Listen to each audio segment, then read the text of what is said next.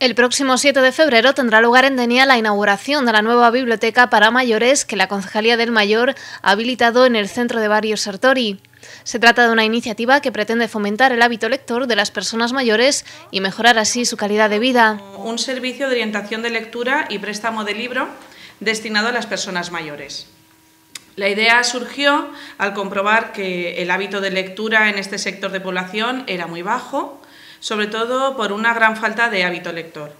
Por tanto, pensamos como algo muy interesante y necesario la necesidad de tomar medidas al respecto para crear hábitos de lectura entre nuestros mayores. Los libros que integran esta librería proceden de la Diputación de Alicante y la Generalitat Valenciana, del Hogar del Jubilado, de la Biblioteca Municipal y también de donaciones privadas.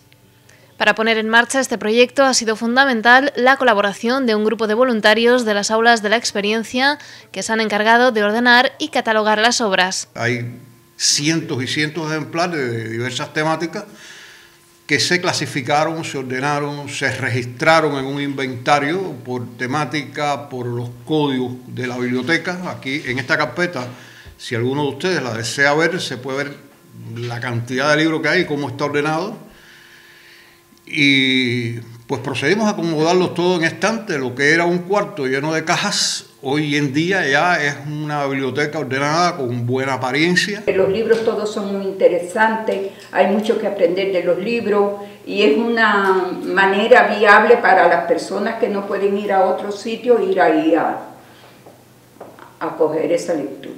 Para utilizar esta biblioteca es imprescindible tener el carné del hogar del jubilado o el de las aulas de la experiencia. En ella se podrán retirar libros para su lectura o intercambiar opiniones literarias con otros usuarios.